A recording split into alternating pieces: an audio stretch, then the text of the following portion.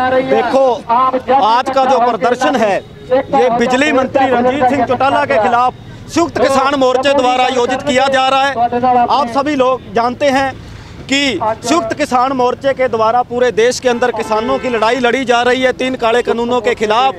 और किसानों की वोटें लेकर के चाहे वो बिजली मंत्री रंजीत सिंह चौटाला हों और चाहे हरियाणा के उप मुख्यमंत्री दुष्यंत चौटाला हों वो बीजेपी के खिलाफ वोटें लेकर के वो सत्ता के अंदर आए और उन्होंने किसानों से ये वादा किया था कि जब भी आपके ऊपर आँच आई मैं इस्तीफा देने के लिए मजबूर हो हो जाऊँगा और तुम्हारे साथ खड़ा होऊँगा।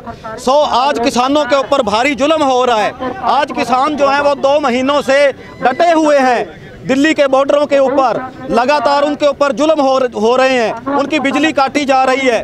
उनका पानी बंद किया जा रहा है। उनके ऊपर जो है देशद्रोह की धाराएँ लगाई जा रही हैं। तो इन सभी बातों को लेकर के हरियाणा की जनता ने, सभी किसान के संगठनों ने, संयुक्त किसान मोर्चा ने ये आह्वान किया हुआ है कि किसी भी गाँव के अंदर, चाहे वो बिजली मंत्री हो और चाहे वो उप मुख्यमंत्री हो, उनको घुसने नहीं दिया जाएगा।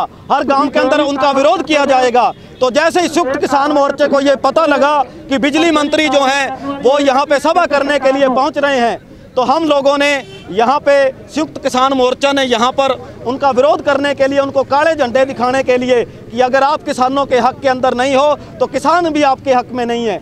इसलिए उनका विरोध करने के लिए यहाँ पे किसान संगठन संयुक्त किसान मोर्चा जो है वो यहाँ पे हाजिर हुआ है। वो आप अभी भी उनसे इस्तीफे की मांग करते जी हाँ हम कहते हैं कि इस्तीफा दे दो अभी भी कुछ नहीं बिगड़ा। वरना उनको गाँवों में नहीं घुसने दिया जाएगा।